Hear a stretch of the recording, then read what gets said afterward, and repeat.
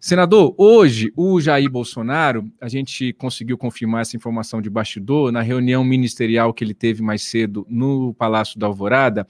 Ele anunciou aos seus ministros, também na presença é, do vice Hamilton Mourão e do próprio advogado-geral da União, André Mendonça, que sim, ele, Jair Bolsonaro, indicará o Mendonça para a vaga do Marco Aurélio Mello no Supremo Tribunal Federal. Lembrando a quem nos acompanha que o Senado precisa sabatinar e aprovar esse nome indicado pelo presidente. Pergunta ao senhor, senador, se André Mendonça já o procurou e se o senhor já tem um juízo de valor sobre essa provável indicação. Então, como ele tem juízo, me procurar ele não vai. Se me telefonar, eu bato o telefone na cara dele. Se for no gabinete, vai ficar parado na recepção. Segundo, vai ser ele mesmo o nome, e por falar em nome, em nome de Jesus. Só que Jesus não está sabendo disso. O senhor enxerga uma maioria entre os seus colegas já para aprovação do nome do Mendonça? Ali no Senado é muito fácil você obter maioria nesses casos. Né? Até porque tem gente, eu, eu, eu já presenciei, né? Tem gente que vota em autoridade e não sabe nem o nome. E de, isso eu vi várias vezes. Várias vezes. Eu, o capitão Stevenson, é, a Leila, o Major Olímpio na época a gente ficava junto numa roda e a gente ficava comentando e perguntando: Ô, Fulano, colega, você sabe em quem que você votou aí? O CN, MP?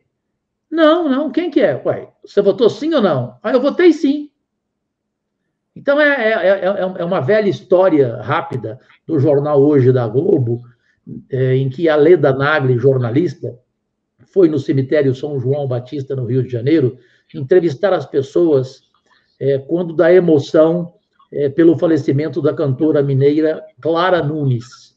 Aí uma senhora chorava, Diego, desesperadamente, sem parar, e a, a, a Leda repórter fez uma pergunta a essa senhora.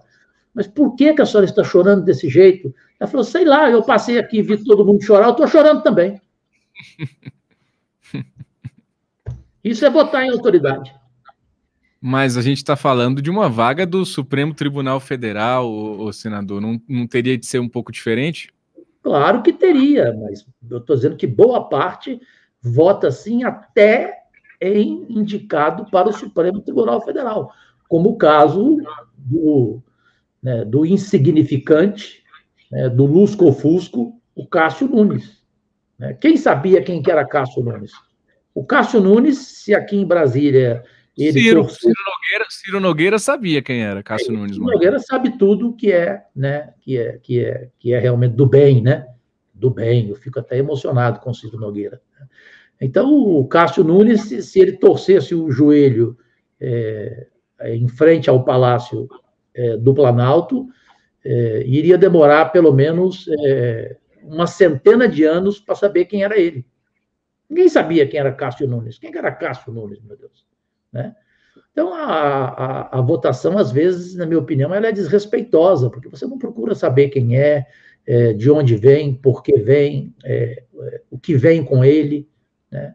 E ainda mais para uma vaga é, de uma importância tamanha como é a do Supremo Tribunal Federal, já tão desgastada por alguns que não mereciam é, é, cargo nem de juiz em cidade do interior.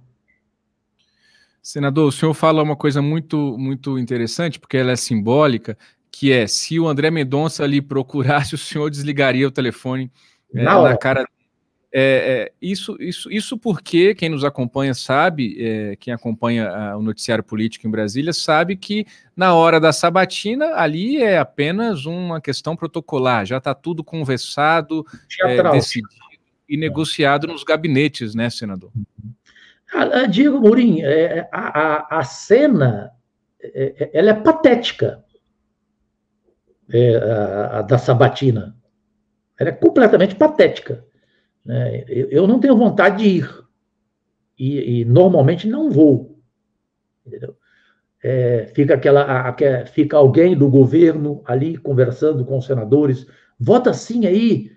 Mas o cara fala para você, vota sim, e nem diz por quê.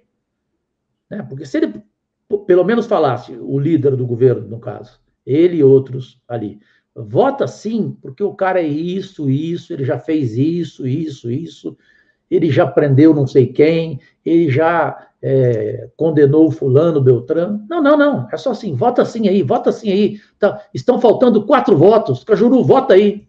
Eu mando para a Punta del Este, né?